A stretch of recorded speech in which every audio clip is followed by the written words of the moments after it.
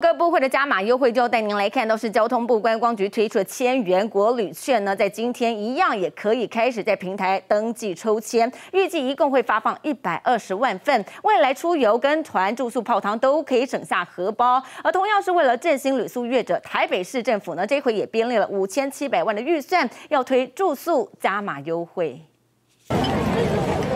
木栈道上满满都是人，看看这望不到尽头的人容，不难感受民众想出游的心。为了持续振兴观光产业，交通部寄出一百二十万份国旅券，开放网络登记抽签。五倍券还是会领的，但是如果要是出游那些的话，就不应该不会领。呃，毕竟现在这种状况还是不太要出游啊。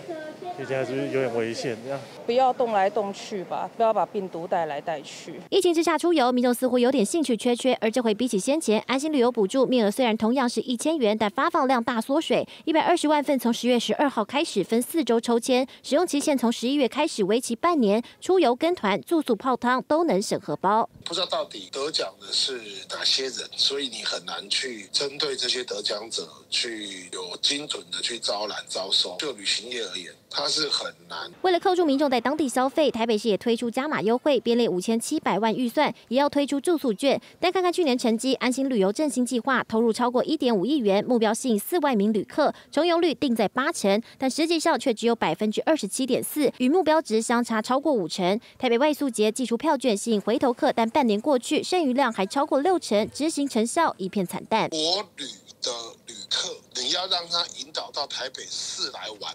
本来就是非常难的。一次的国内旅游旅行团呢，国内国旅补助啊，台北市它总是成绩单都不好看，那是非战之罪。疫情后复苏，地方政府技术加码回馈抢十五倍券商机，还得仔细盘算，才能避免漏的自嗨收场。结合人凯科普轩台北采访报道。